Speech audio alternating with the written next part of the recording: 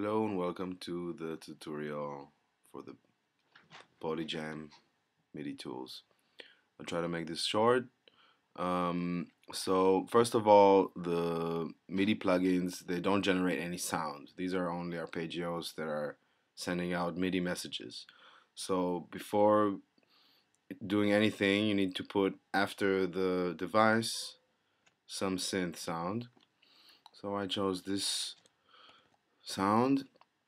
And now if I press the play button here you will notice there's nothing happening. So you have to start the Ableton sequencer.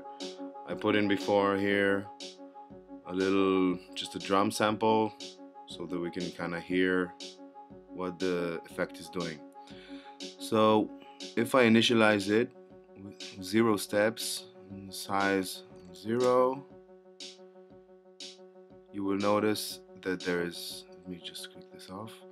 You will notice that there are this four five departments here in this polyarp.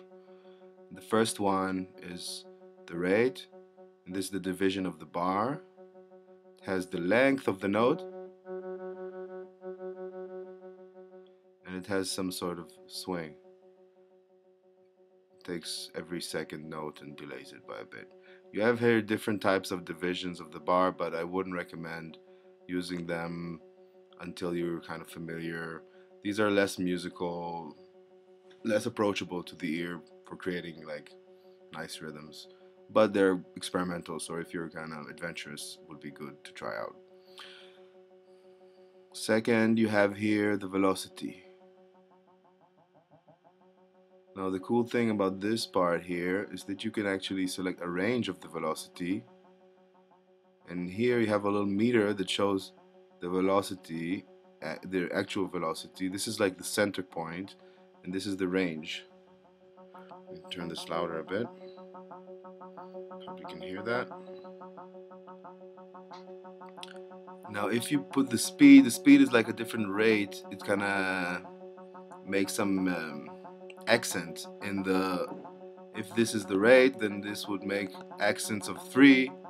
One two three four one two three four one two three four actually it's four but one two three one two three one two three one two three one. One two one two one two one two one two. If you make a bigger range it would be more extreme.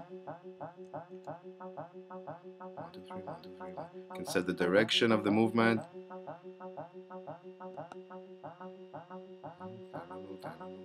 Or up and down.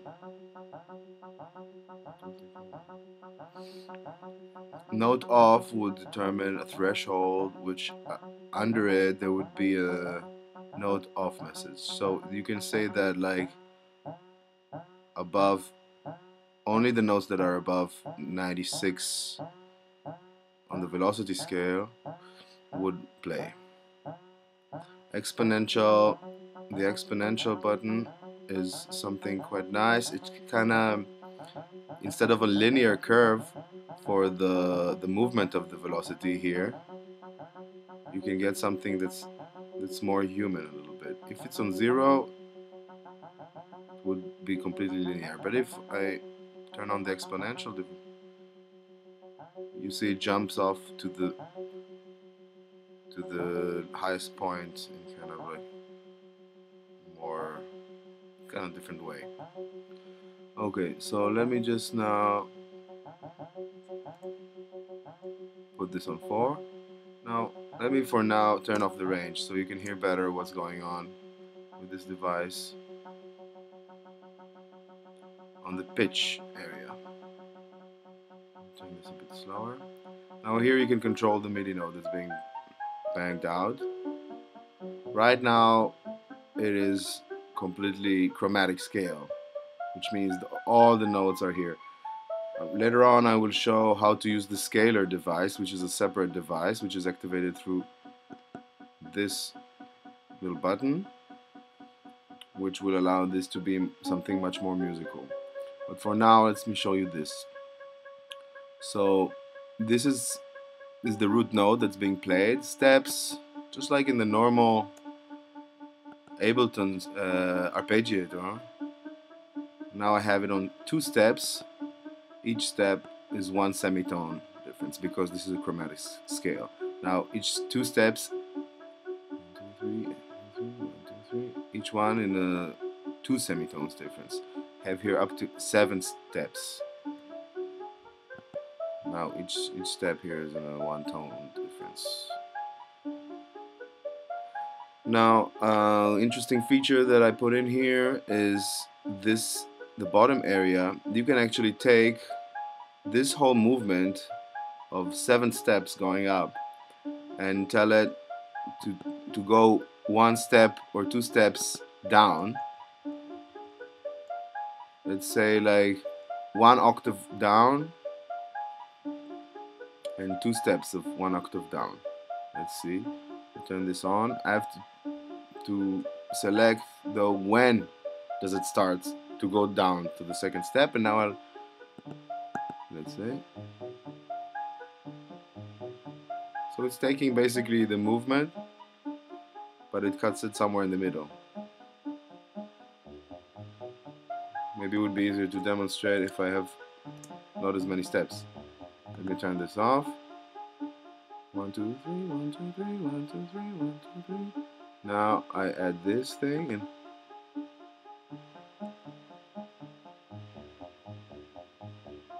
we took this movement and played it now one octave down. Now after you have this whole thing set up kind of the way you like it, you can here change the range, the full range of the um, of the notes being played. Right now it's it's the full range when minimum is 0 and max is 127 but you can if for example you like this pattern but you want to play it on on a lower part of the keyboard you can just like this is also very useful if you have um, drum samples that are only on one part of the keyboard on one octave you have to select the octave and then all this configuration would work only in the range that is given here.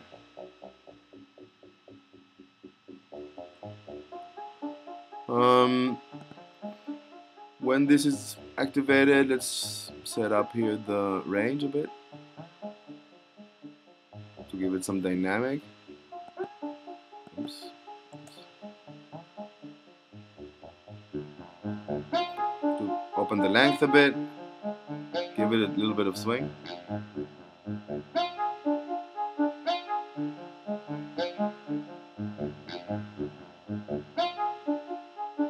Instead of uh, try seven here.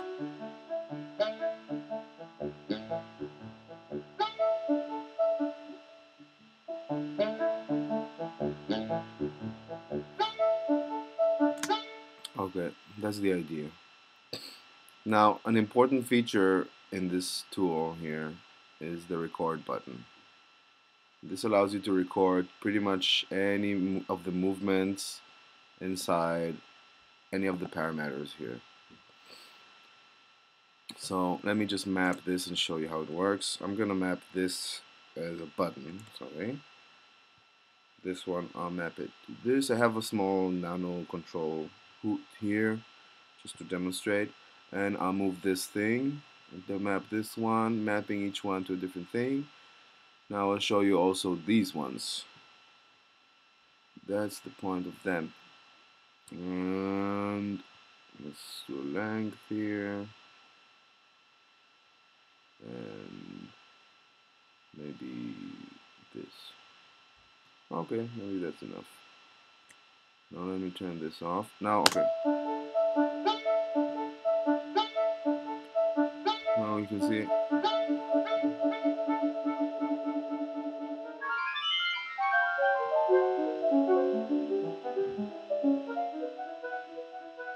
Now let me record something.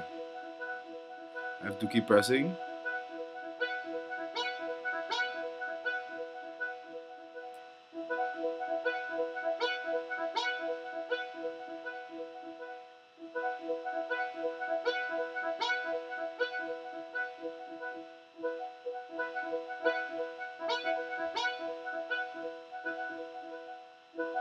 Now you notice that these two different parameters they both have completely different loop lengths.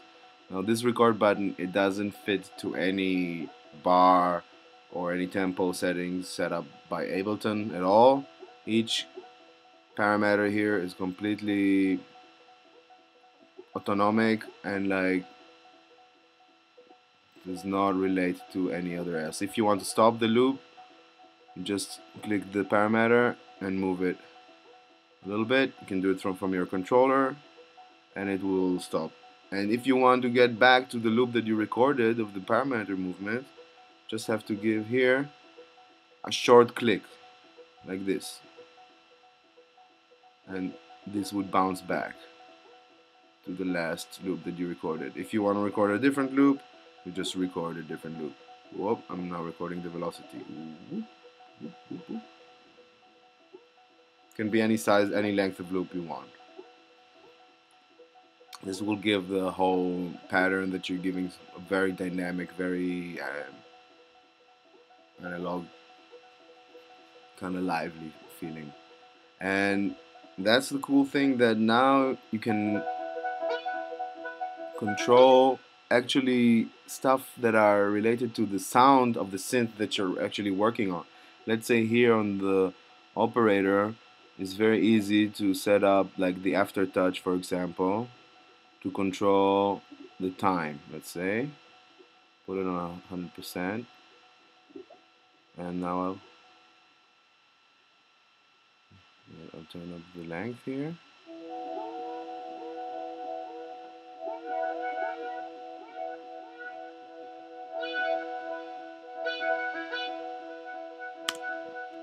that's cool. Now let me try and map this aftertouch to another button here. Okay. Now I have this. Now let me just now these are not working anymore because I just moved the parameters so the loop is muted. This loop would run also when Ableton is off. Now let me try and record this aftertouch movement click the record button.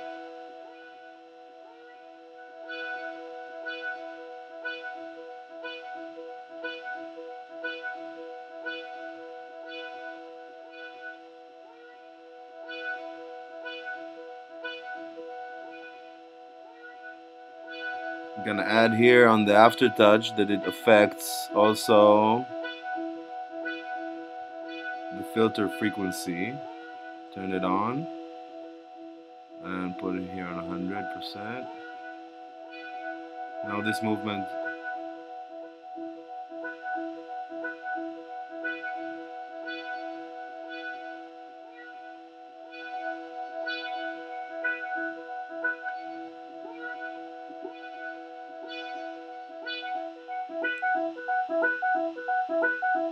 Just change the release here of the synth a bit. And now this is sound very you can very much tell that this is affecting sound okay that's it for now. Um, next up I'll show you how the scaler works. So keep your heads up. See you later